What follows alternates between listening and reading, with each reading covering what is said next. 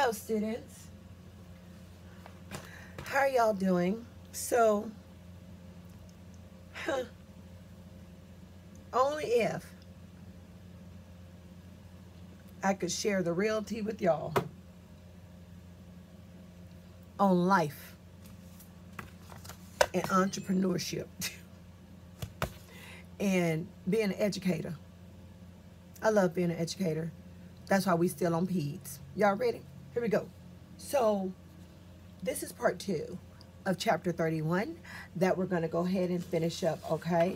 So um, I want to start this second part of chapter 31 talking about diabetes and uh, diabetic ketoacidosis which is also known as DKA now please remember we're still talking about the pediatric patient okay now the signs and symptoms include uh, a decreased serum bicarbonate concentration and a low pH hypertonic dehydration the fruity odor of their breath nausea, and altered level of consciousness, which is also seen as ALOC. The symptoms can range from mild to severe, and it can occur within hours or up to days. Now, this is also referred to as diabetic coma. So you used to hear people back in the day call this diabetic coma. And even though the patient may not be in a coma, they still called it that. All right. This may result from a secondary infection and the patient does not follow proper self-care. They could go into DKA. This may also occur if the disease process and uh, proceeds and it is unrecognized or it is undiagnosed, uh, since people can go into DKA. Uh, ketoacidosis is the end result of the effects of insulin deficiency. Now, the treatment goal for diabetes uh, mellitus, uh, which is just you see as DM, this ensures normal growth and development throughout um, metabolic control. This enables the child to cope with a chronic illness uh, and have a happy and active childhood and for them to be well integrated into the family and to prevent complications from um, high blood glucose and not being able to control their blood glucose. So our goal is to have tight blood glucose control.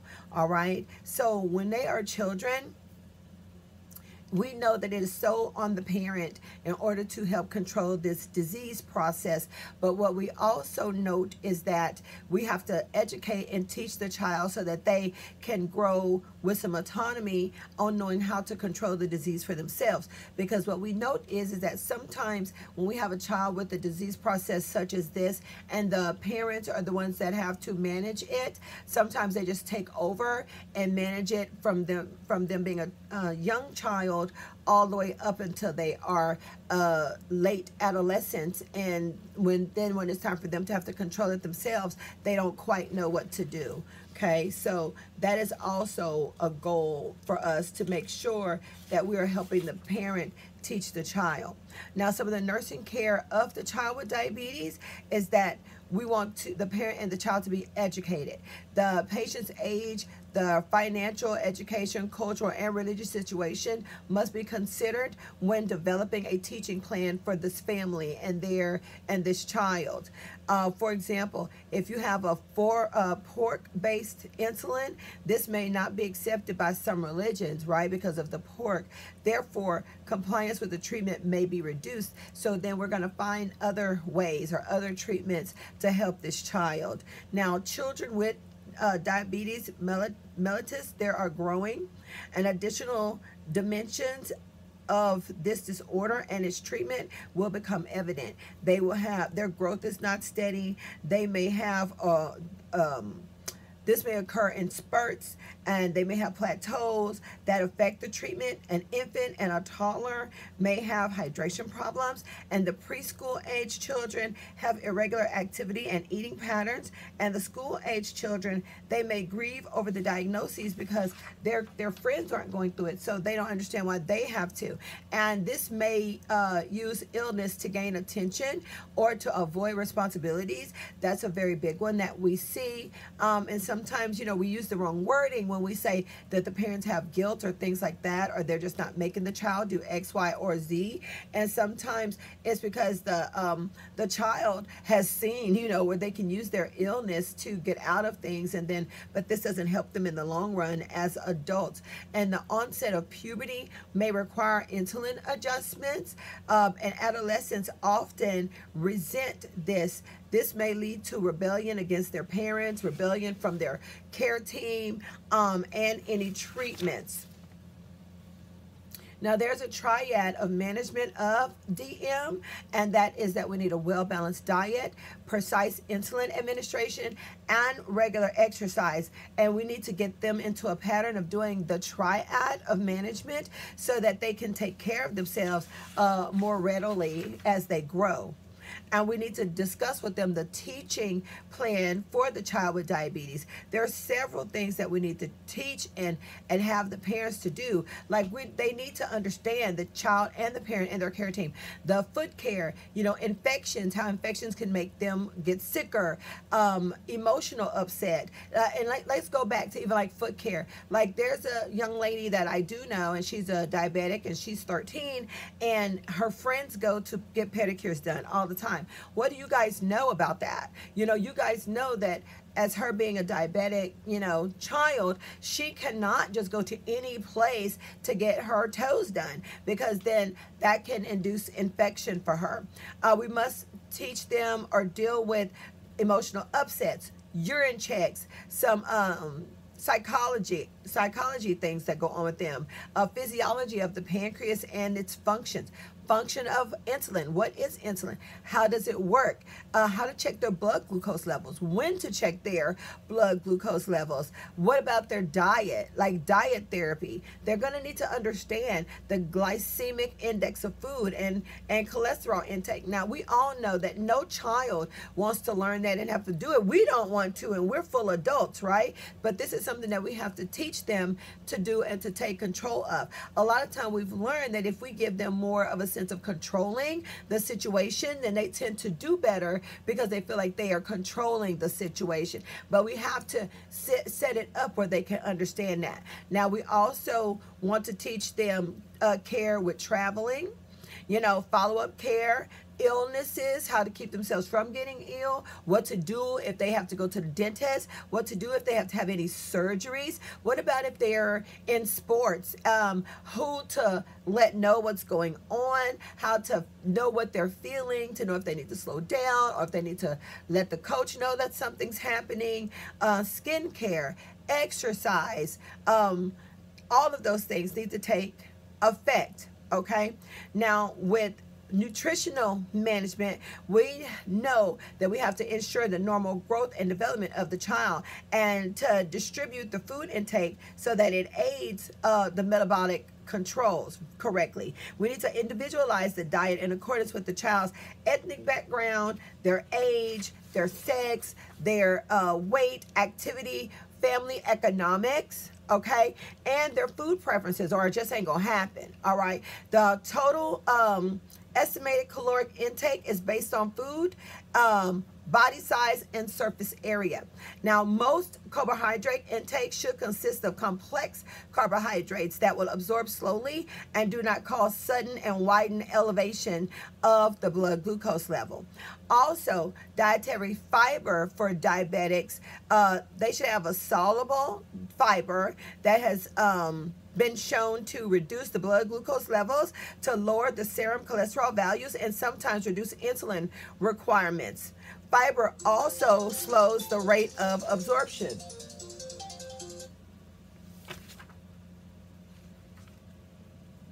Now, when it comes to insulin administration, like I stated a little while ago, we have to be very careful in teaching them about administering their insulin. Yes, we need the parents over it while they're children, but we need to teach them so that they'll know what's going on and how to do it. It gives them autonomy and it helps them to take care of themselves. But while we're teaching the parent, we're also teaching the child. And insulin cannot be taken orally because it is a, it is a protein and it will be broken down by the gastric juices. So insulin is given by injection form, okay? Now, usual methods of administration is subcutaneous, okay? Also, there's these very, very good insulin pumps uh, that have a closed loop system. Now, I do teach the insulin pump when I go out uh, and do uh, primary care, uh, education for diabetics uh, and just especially gestational diabetic moms. We put them on the insulin pump a lot of the time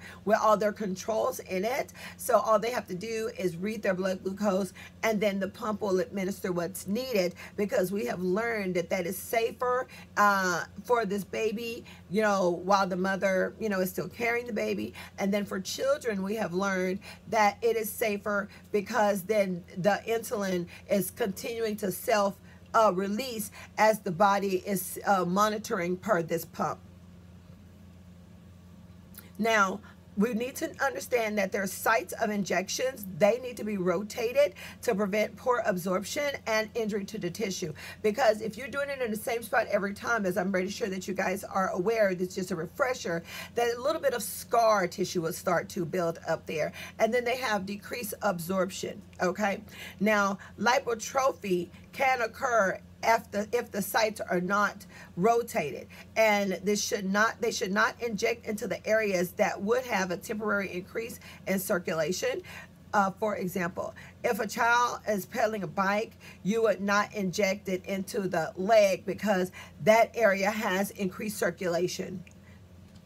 Hopefully that makes sense to you. Now, with the insulin, the main difference is in the amount required for it to take effect and the length to protect and the timing. So the response to any given insulin dose is highly individualized and it depends on many factors such as the site of injection, local deconstruction, of the insulin by tissue and enzymes and the insulin antibodies. Insulin can also be given through a pump device like we just discussed a little while ago. Now let's talk about insulin shock. So insulin shock, also known as hypoglycemia, this is where the blood glucose level becomes abnormally low and it's caused by too much insulin. Now the factors are poorly planned exercise, reduced diet, and errors made because of improper knowledge of insulin and the insulin syringe okay? Um, children are more prone to insulin reactions than adults because the condition itself is more unstable in young people. They are growing and their activities are more irregular than an adult. The symptoms of an insulin reaction is normally things like irritability. They may have, um, they may behave poorly. They may become pale. Um, they may complain of feeling hungry or feeling weak or having sweats. The central nervous system um, will have some um, arises because of the blood glucose and this vital proper action of the nerves will not be working as well because of the hypoglycemia.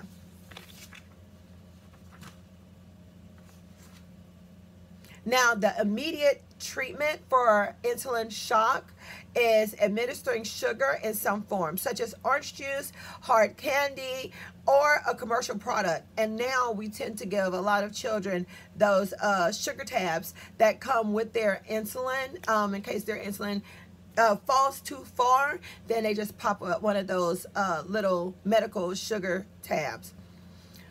Now, they may begin to feel better within a few minutes, and then they may eat a small amount of protein or starch to prevent another reaction from happening.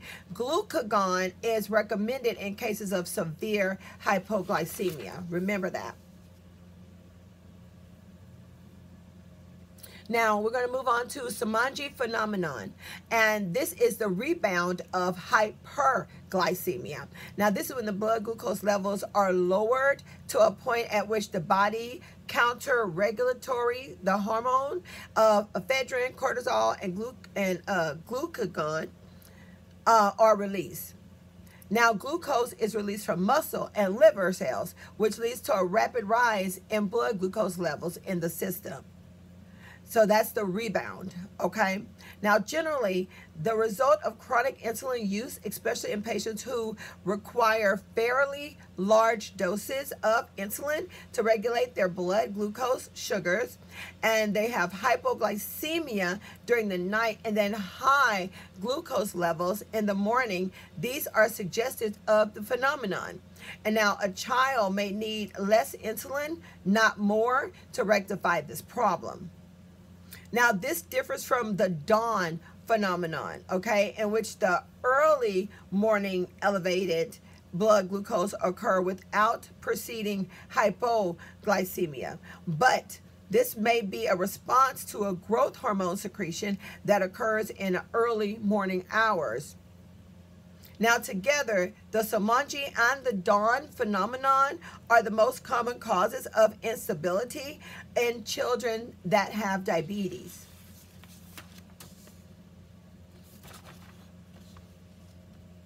Now, with type 2 diabetes, this is thought to be precipitated by things like obesity, low physical activity, lipid-rich diets that result in insulin resistance.